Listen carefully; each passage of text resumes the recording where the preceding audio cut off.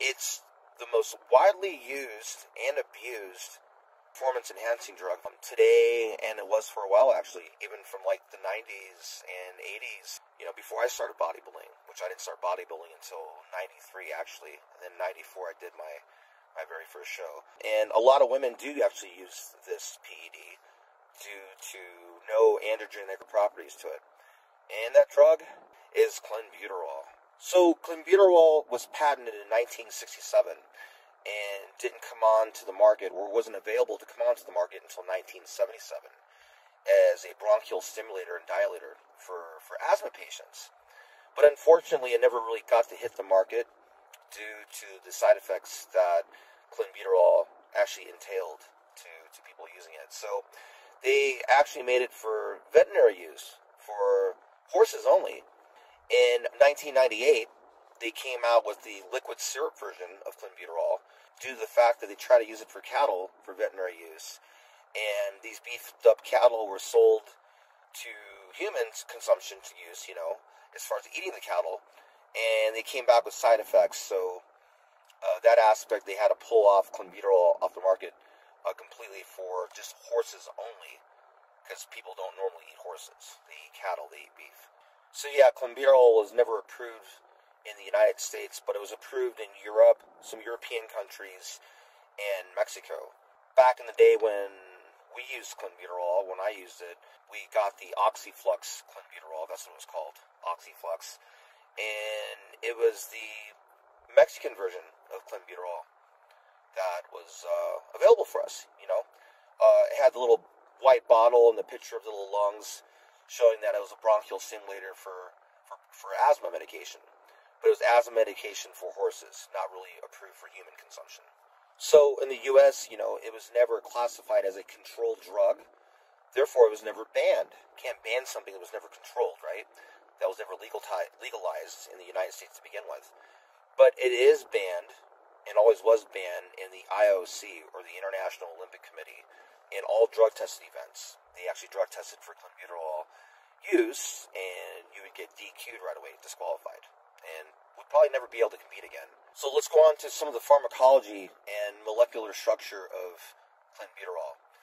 It's a beta 2 adrenergic and it's a bronchial stimulator dilator basically. And it's similar to uh, epinephrine and adrenaline as far as the chemical structure goes.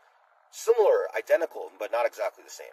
And how it acts like a bronchial stimulator, it acts on the bronchial tract, the smooth muscles of the bronchial tract. So it basically opens up the blood vessel dilation in the bronchial tract in the lungs, which helps open up for aerobic capacity, which helps for burning body fat. So that's kind of how it's used in the body. And it's got two basic basic functions, you know, with clenbuterol. The first function of clenbuterol is that it works on the CNS, the central nervous system, as a thermogenic. So it works on systemic thermogenesis of the of the body, so it regulates the body temperature, of the body core. So it raises your blood temperature or your body temperature slightly. So you're constantly burning calories due to that raise of temperature and metabolic rate. The second thing it does is it hits a beta 3 receptor slightly, even though it's not really classified as a beta 3 receptor agonist, it's a beta 2 agonist, but it does slightly hit the beta 3 receptors, which happen to be the stimulation of adipose body fat tissue or lipolysis in the body, which uses body fat for energy. So it works on those two conversions. Like I said, beta 3 receptors activation and the CNS, the central nervous system, as far as metabolic rate and temperature body core of the human body. Clenbuterol is also known to have some slight anabolic properties in the body. And by anabolism, it there's some anecdotal studies and data. This is not really proven, but there is some studies and some data that relates to this Dan Duchaine was trying to implicate some of these uh, these theoretical data studies on on humans, but it was never really never really fortified or brought forward. In, in other words, it wasn't completed as far as data goes. But some of the data that Duchaine studies found that it relates to the DNA conversion of muscle fibers from type 1 and type 2 muscle fibers and enhances them slightly and makes them more dense. It has contributing factors of density and strengthening of muscle type 2 and type 1 muscle fibers. So that DNA fluctuation transfer pushing forward of the fiber cells in the muscles, that created some kind of anabolic property or anabolism of hypertrophy to those muscle cells. So, like I said, it's all in studies, though. It's kind of in theory. Um, some of it's actual. I believe that it's true. I remember when I took Clen for the first time back in the late 90s. From body fat testing, I actually put on muscle and lost body fat because my weight didn't change, even though my body fat dropped and I got leaner. I competed as a middleweight, oh, you know, back when I first took Clen. This was 1998. And I remember my body fat dropping. I started seeing veins in my abs, cross striations in my quads, striations in my glutes. And I was still 185, 190 pounds. And I was like, what the fuck? You know, I'm like getting leaner. I'm not on drugs as far as anabolics or androgen goes, but I am taking Clen for the first time. My body reacted. It actually strengthened definitely some of my, you know, some of my muscle fiber cells by an increasing volume of hypertrophy because how do you get leaner and harder looking, not drop weight? You're, you're, you're, you have more contractile muscle for some odd reason. You're stronger in the gym, but you're not on any pro hormone, you're not on a SARM, you're not on an androgen, you're not on anabolic. You're only taking clenbuterol. Well, that's the only study there is, right? That's the only thing you can go off of since that's the only thing you're taking simultaneously along with your program. So it worked for me. Now, genetic translation, genetic disposition, how my body accepted clenbuterol versus somebody else, it's it's all different for everybody, right? But that's just how I reacted with it, and this is what happened with me. So it was my genetic translation of that PED or of that clenbuterol at that time when I was 23 years old back in 1998. So that's all I can kind of go off of, you know. Now I'll go on to some of the side effects of clenbuterol.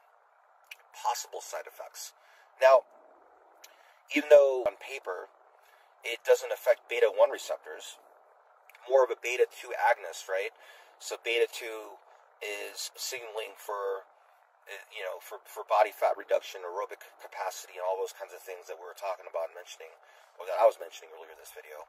Beta 1 has to do with your heart rate increasing. It kind of primarily rates to heart rate capacity, genetic predisposition on how people accept different adrenaline or adrenal gland related types of things like caffeine, ephedrine, which is also a beta 1, beta 2, beta 3 agonist. It kind of hits all beta receptors, right? Clen being, or clenbuterol being more beta 2 related. There could be some agonist to the uh, to the beta 1 receptor in certain individuals because it does have some properties of that. Uh, beta 3 meaning for body fat or using the lipolysis or body fat for energy. So in some cases, people are getting that heart rate or higher heart rate symptom. Some people get nausea, cramping in a lot of individuals, anxiety, really, really rare cases. Um, I haven't personally seen this, but you, you can create AFib in your heart, which is really not a good thing. You don't want AFib. But we're talking about somebody with probably a, a genetic birth defect in their heart or predisposition for having um, some kind of, you know, negative symptoms for their heart to begin with that could have AFib properties. Taking clenbuterol is probably not a smart thing. You know, so if you have heart condition or heart issues, and again, I'm not a doctor. This is not medical advice or anything like that. I don't. I'm not condoning anybody to take clenbuterol. So please, this is not what this video is about. It's for educational purposes only. Um, I would never have anybody in their right mind take uh, any kind of stimulant or fat burner if they have a heart predisposition of some kind of heart issue, you know, or really fucked up blood work, you know, whatever that is. Don't don't take any kind of PED ever. You know what I'm saying? Until you get your blood work correct. And again, like I said, I'm not advocating this. I'm not uh, a medical doctor. I'm not advising anything. So these side effects can occur if you do stupid things or take, you know, 100 mcgs of Clen all at once when you should be titrating up from 20 mcgs at a time. 20, work your way up to maybe 40, then work your way up to 60. N- nobody needs 120 or 180 mcgs or 200 mcgs of clenbuterol when I took it. And back in the day, there was only 20 MCG micro, you know, MCG tablets available. Um, there was no liquid Clen. That shit came out later, which that's like fucking crack in a bottle. Don't don't take that because you can't dose it correctly. But I know, like nowadays, you, even have 40 MCG Clen tabs, and you have to break them in half. But anyways, long story short, be careful of your dosage. Don't take too much. Definitely don't take any clenbuterol if you have a genetic predisposition of a bad heart or AFib properties, like I said. Um, it's really, really a bad idea. So be careful. But again, I'm not a medical doctor. This is for educational purposes only. Be really careful. Be safe. Be aware of what you're doing. Like I said, make sure you got blood panels done. Make sure you get your blood work done. Your health markers checked before you start any kind of program through fitness or whatever it is, especially PED. Be really careful. But take care. Have a great, fantastic day. Please leave comments in the comment section and talk to you soon. All right. Have a good day. Bye bye.